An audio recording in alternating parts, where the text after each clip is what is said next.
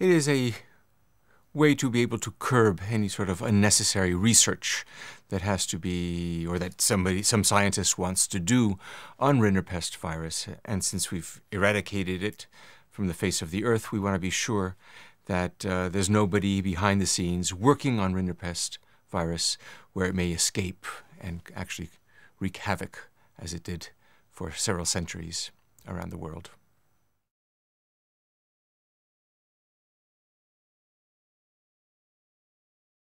I think the risk would be uh, that the virus may uh, escape or leak out.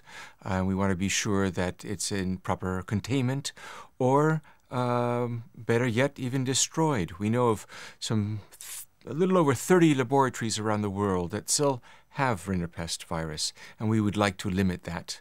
Very much like what was done on the human medical side with smallpox virus, which is only kept on in two uh, laboratories in the world. We would like to follow that model.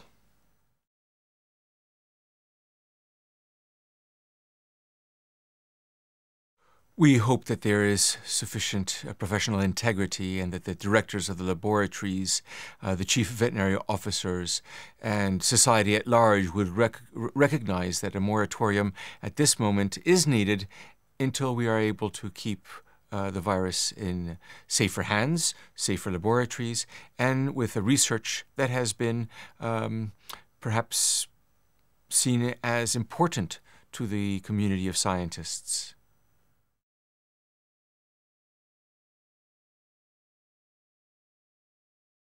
I think it's very important to have a system where you are able to monitor and survey for diseases such as rinderpest.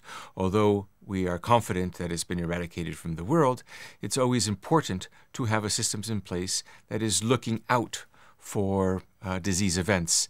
And some of these disease events can look like rinderpest. We have to be sure that they are not.